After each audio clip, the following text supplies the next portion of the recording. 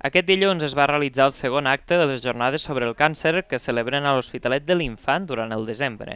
Sota el títol L'ajut psicològic quan es tracta un càncer, la psicooncòloga de l'Associació Espanyola contra el Càncer a Tarragona, Helena Nolla, va explicar com es pot millorar la qualitat de vida dels malalts i el seu entorn a través d'una bona ajuda psicològica.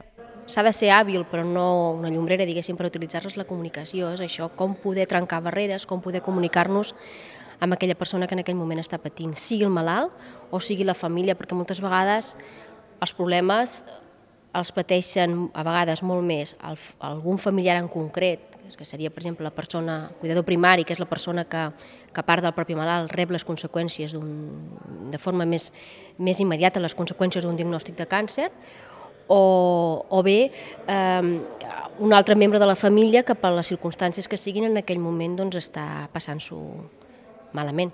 La darrera jornada serà el dilluns 17 de desembre amb el nom de Present i Futur de la Investigació del Càncer de Mama. Serà càrrec de l'oncòloga de l'Hospital de la Vall d'Hebron, Patricia Gómez. Així com ja va fer durant els dilluns del mes d'octubre, l'antena del coneixement de la Universitat Rovira i Virgili al nostre municipi organitza unes altres jornades per a tots els públics durant el mes de desembre, en aquest cas amb el càncer com a eix central. Que parlava abans. Què passa després de la malaltia?